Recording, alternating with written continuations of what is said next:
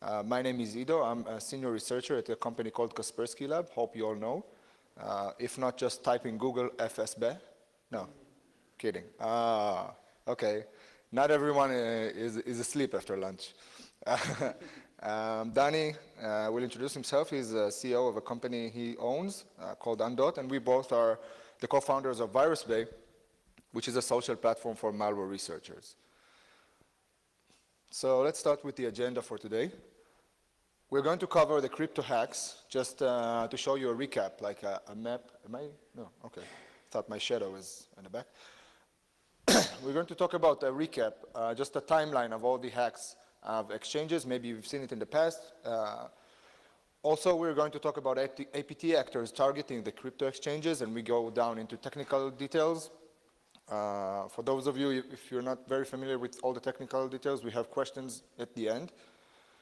Uh, Dani will take you into the jargon of the financial sector. He's also working uh, at that sector and the crypto markets in general. And we will do some sort of a switch from APT actors to some other known vulnerabilities uh, being conducted on or were conducted on trades around the world and now are a big trend around uh, crypto exchanges.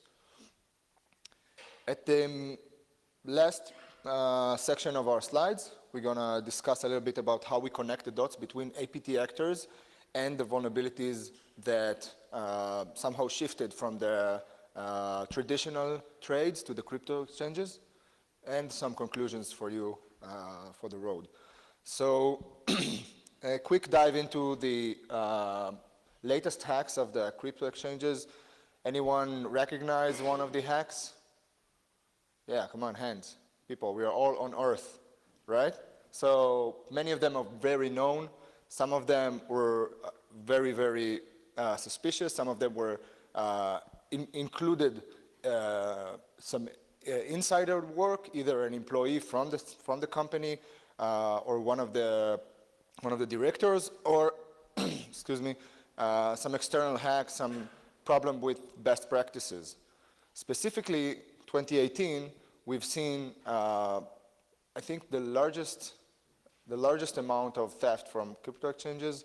One of them was CoinCheck, uh, uh which is originated in Japan. Around $530 million uh, were stolen. Let's dive into the APT actors two major operations. One was done by uh, our company and the other one by uh, a company called Intezer. Anyone know Intezer? Yeah? Okay, not a lot. So Intezer, uh, for those of you who don't know, they have an amazing uh, uh, engine, in my opinion. Uh, what it does is code reuse. So it takes two binaries from different attacks and just know how to create code similarities and then they can understand whether uh, there is a code reuse in one of the binaries and they can then link it to some threat actor and I will show it to you today.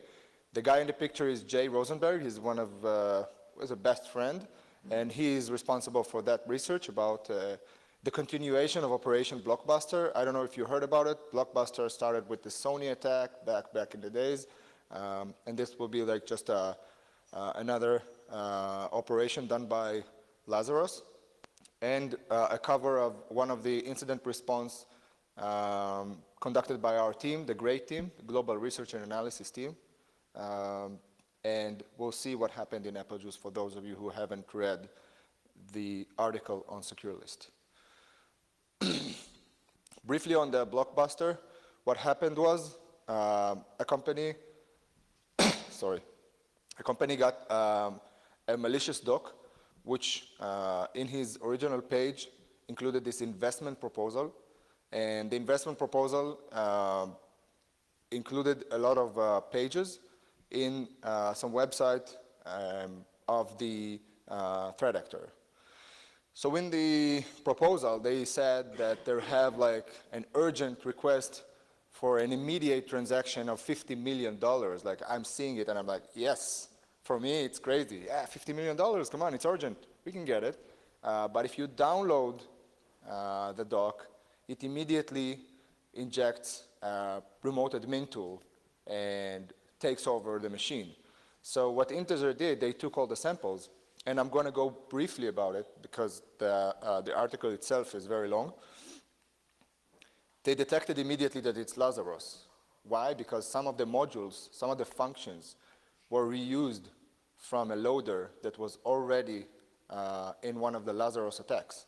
So, and the, the, entire rest of the code was unique. So it wasn't a, uh, in any part of other attacks. It doesn't say a lot, but it, do, but it does uh, create a suspicion around it.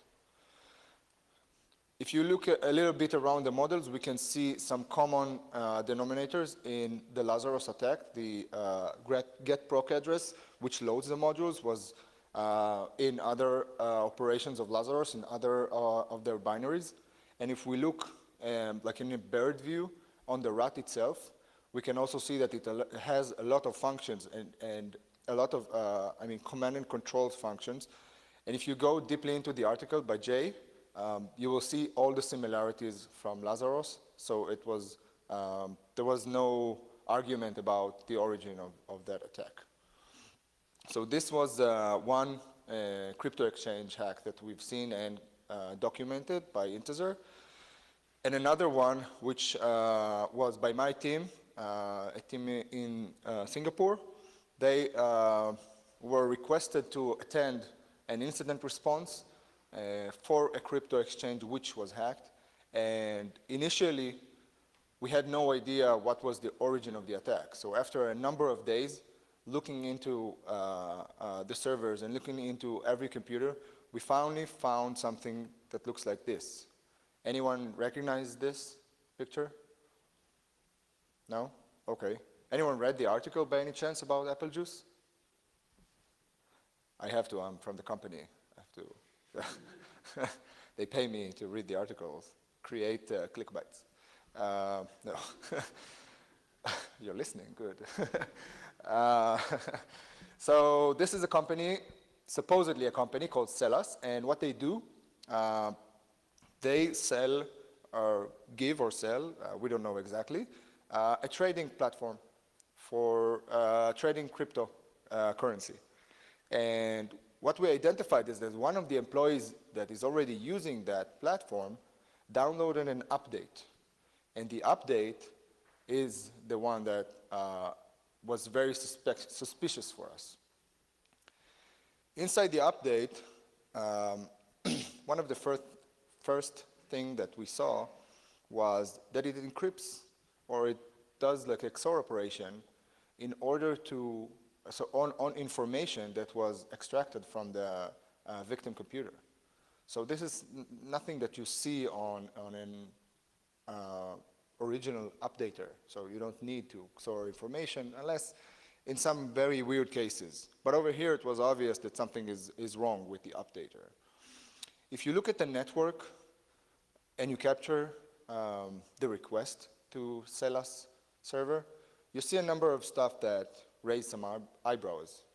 One, the user agent is hard-coded, and it's not really the same as uh, the, the original one that we see. So this is something that is like some sort of a, a fingerprint uh, for them to identify where, um, which of the operating system it's coming from. In this specific example, it's Windows.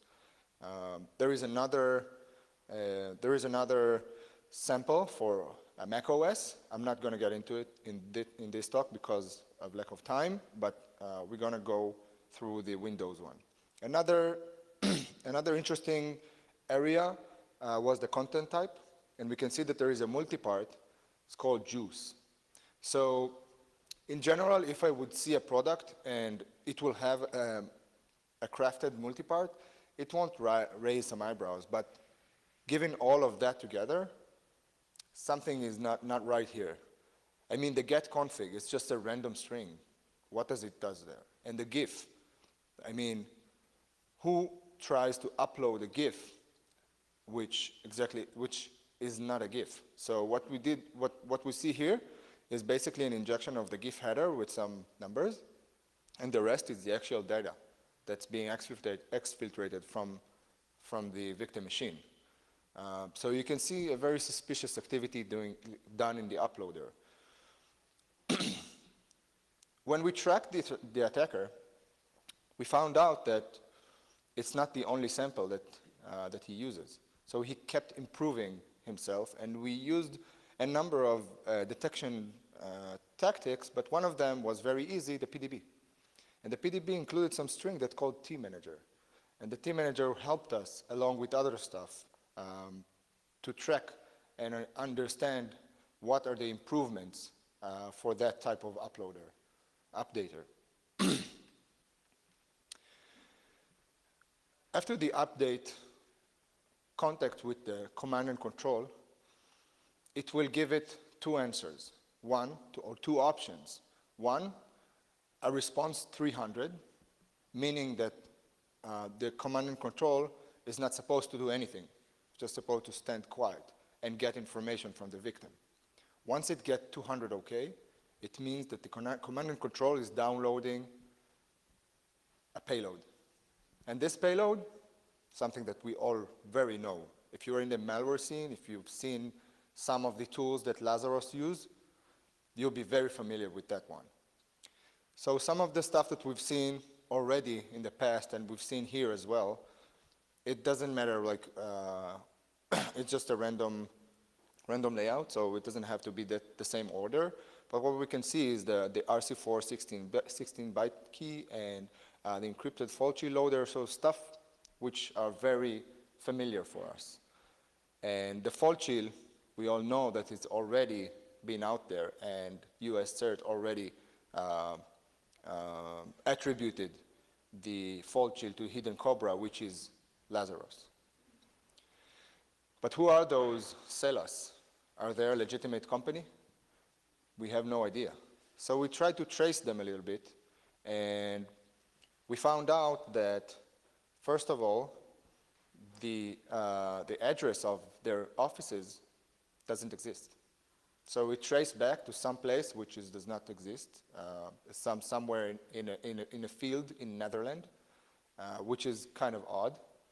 So we don't really know if Lazarus actually owns Celas in some way, or Celas is some company that they infiltrated in, and since they are small, so they registered some box uh, or something of, of that nature. And there's a lot of questions around it. If you ask how did we know it was Lazarus, out of all the evidence that we collected, some of them was very, very unique. One thing was the 16-byte key. As you can see in that picture, the 16-byte key used for RC4 in the Fallchill for encrypting the data was also used in a lot of other operations by Lazarus. The infrastructure had an immediate overlap. So you can see that they are still using the command and control server uh, to create these attacks. And something which was rather interesting, I don't know if you can see it from here, it says accept language, KO minus KP, KOKR means Korean. Inside the Fallchill loader, there was this string, which is an HTTP header in the Korean language. So this is where I leave you to Dani. Wait, can you hear me? Yeah. So a little bit about a financial jargon that we'll be talking about. Does anyone know long positions, different stock market positions, short orders, market orders. Okay, so a long position is the easiest position to explain the market. I think that, let's say Bitcoin's going to go up. I'll buy some Bitcoin. I'm in a long position. Goes down, I lose money. Goes up, I make money. Short position is basically, I think Bitcoin is going to go down. So let's say Ido is my broker. I say, Ido, can you give me five Bitcoins? I'll take them. Take I'll sell them right away, and then I'll have, let's say, $1,000. If Bitcoin goes down, I owe Ido 10 Bitcoins. I'm going to buy 10 Bitcoins, let's say, for $900, give it back, and I made $100. Market order is basically the simplest order in the market. You send the order, you say, I want to buy 10 Bitcoins at whatever price is available. I, will be 100% execution. I know I'll get my Bitcoins, but I might get it at a worse price, depending on how the market changes while I execute it. A limit order is, okay, I want to buy 10 Bitcoins at $1,000 and 2 cents. If I get it, I'll get it. If not, my order will just stay in the queue and won't get executed. Stop loss is an order used to protect yourself from if the market goes crazy. So you're saying, okay, I'm in a long position. Looks like the market is going well, but if the market goes down like 10% right away, I don't want to be on my computer watching it all day. I want to have an order that is inactive. Only the moment that it reaches my trigger is going to get triggered, so I don't lose everything. I, I kind of protect myself from the market. And liquidity. Liquidity is the degree of how can you buy an asset, how quickly you can get it, and for the price that is posted above.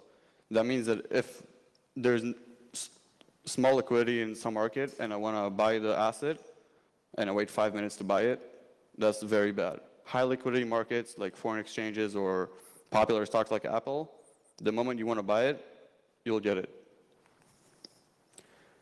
So a small comparison of crypto markets to regular exchanges. Um, first of all, it's a 24/7 market. You have more than 20 venues selling the same type of assets, which is not very common. Um, it is. There's a lot of exchanges for stocks selling the same assets, but this has 20 is an understatement. 20 are the ones that are like pretty big. You have hundreds of them. There's very little institutional traders, which means that most people that are trading are not good traders, and you can see it by, I see you there. um, you see a lot of like those YouTube videos, you can make very good money, watch this 10 minute video and you're going to trade. I'm sorry, that's not how it works. People spend years and years of learning how to trade. No financial regulation, um, which means there's a lot of illegal stuff going on, which you won't see in regular markets.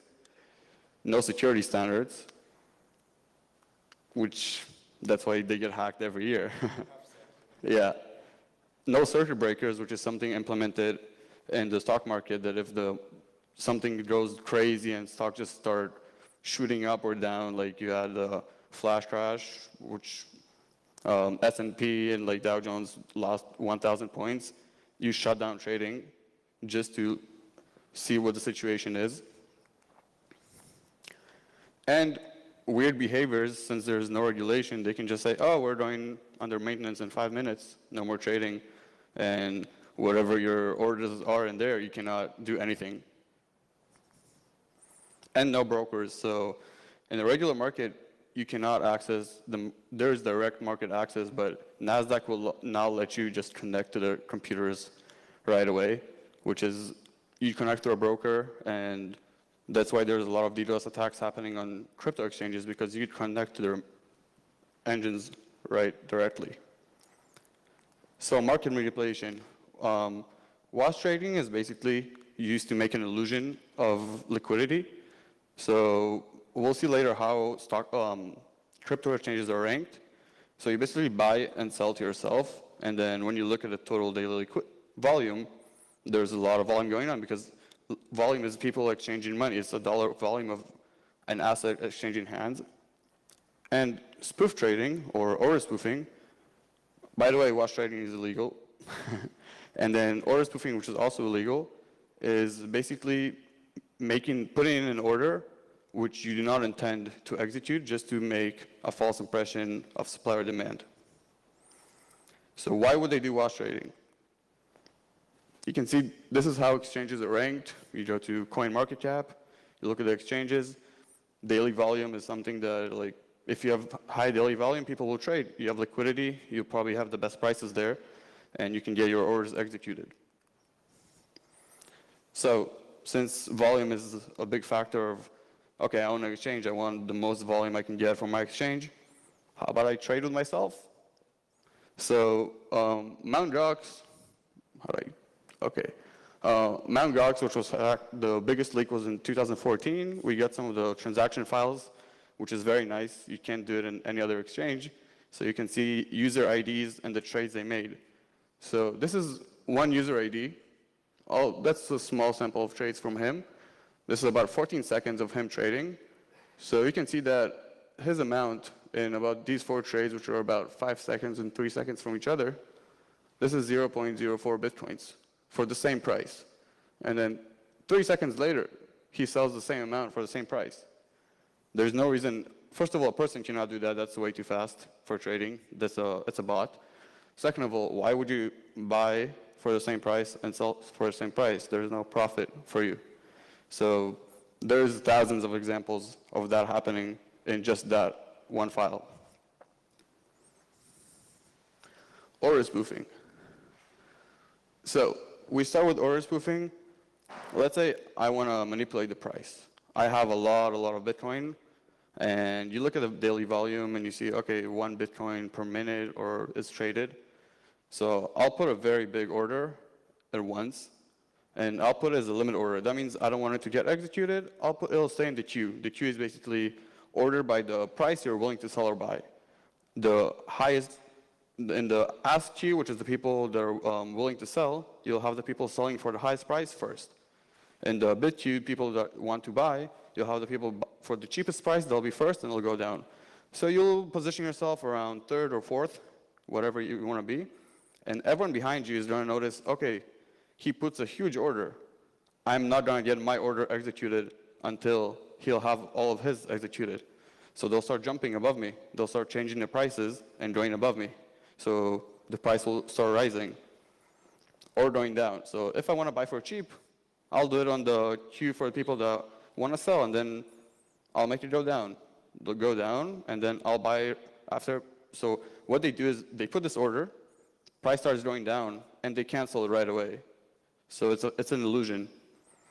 Then that person is going to buy for the cheap price because he just made it go down, go to the other side.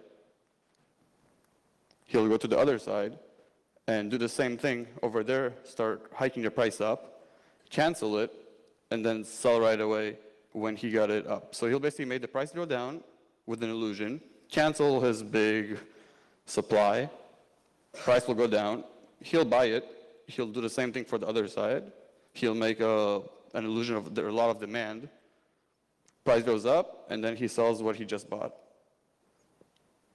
And yeah, so he makes a, a small profit, does it thousands of times a day, makes a lot of money, highly illegal in regular markets, regulated. There's a lot of software for detecting that and happening. I mean, if I had some time for a demo, I would show you that live right now in one of the exchanges that always happens. So this is basically a cumulative sum of the offers and bids. You can see the people right there wanting to buy, people willing to sell the higher prices, and this is called a wall. This is basically a spoof wall. So this is someone putting a huge order, and everyone behind them is like, my order is not going to get executed. They'll start jumping here, price starts going up. So an, an interesting, we were working on a presentation, and then I, I, found some different price manipulations, which I had no idea how they happened, like prices hiking up 10% out of nowhere. So this is how we connected target attacks and price manipulations. So BitMEX, which is, has the highest volume of all the exchanges, goes down for maintenance at 1 a.m. Right here we can see this is the price from a different exchange, uh, which also has high volume, but not as high as BitMEX. So when a big exchange with a lot of volume goes down, the total volume goes down of the whole crypto um, exchanges. So every an order, you don't need a huge order to make the price move up because there's not a lot of volume now. You put in 2,000 Bitcoin order, you'll make the price hike because there's no trading going on in BitMEX. So people are not um, looking at the prices in both exchanges. So that's usually have um, high frequency bots that look at, try to do arbitrage between exchanges, see, oh, this is too low here. So they start, they start trying to compare it, and that's how the prices um, average out usually. So we can see that in BitMEX, BitMEX goes down, no trading, and Bitfinex, someone comes in, puts in a huge order at the exact same moment, 1 a.m. Um, so, and this is the volume throughout the day, this is the volume after. So you see something is suspicious here. Like, exactly the one moment that the bigger exchange goes down, someone comes in and puts in a huge order and makes the price go up like crazy. So I was telling you about stop losses. So for an exchange, having a lot of people doing short positions is a bit risky because they basically let them borrow. They give them credit. So the more credit you give, and if there's a risk of the credit is, is on default somehow, if the prices go up way too much, people are not going to be able to afford to give you the money. Um, so for Bitfinex, um, that day was one of the highest points they ever had off short positions. And not saying that it's a fact, but some people think that they might want to cut some of those positions. So how do you cut those positions? Most people that do have stop losses, um, that are in short positions, they'll put a stop loss. If the price goes too high, liquidate. So you saw the spike in the price, and at that same moment, the number of short positions just goes down considerably. So this is from the Twitter account of Bitfinex, uh, BitMEX. People are saying, okay, so we completed our maintenance, we're in cancel only mode. Cancel only mode means you can only cancel orders that you have open. And then people are saying, it takes, you have, we have five minutes to cancel the order, but it takes six minutes to log in. Servers are overloaded, and then they're going on, oh, we have some more difficulties, and then out of nowhere, oh, we're, we're having a DDoS attack on us. Very convenient. Same moment. And then we stabilize, DDoS attack, and then again, one more DDoS attack, we're trying to mitigate. Anyway, people that had their orders in could not cancel them, could not do anything. Um, and if you go to their Twitter, you'll see people saying, I just lost like $10,000 out of nowhere for, couldn't cancel my order. So, concluding this part, even though this was maintenance, hopefully, if they're uh, legit, if not, these exchanges, we looked at them, most of them were not even protected by Cloudflare. So it shouldn't be that hard to do a DDoS attack, and if you can take uh, an down an exchange with considerable amount of volume, you can play with the prices and make a very, very nice profit for yourself. So concluding, crypto exchanges lack security best practices. It's not improving. Hacks are getting, they're not getting more complex. There's not better tactics of the attackers, the same phishing emails. A lot of manipulation is being made. No regulation. We don't, it's not clear if there will be any regulation. APT actors won money, and a lot of non-APT actors won money as well. Yeah, but specifically before you move to the, to that thought, um, so we know that Lazarus is a cyber espionage and cyber sabotage type of uh, actor, but we also uh, have one of their units which we um, which we also track, and we are, we know that they are after financial gain and they have the means to create such attacks, and whether it's from the inside or from the outside. Uh, there is, there is no 100% in understanding how the crypto exchange is working and whether it's under attack or not, but someone is controlling, um, someone is controlling them in some way, and that facts that Johnny, Dani just uh, spoke about are not happening by mistake or human error, you know?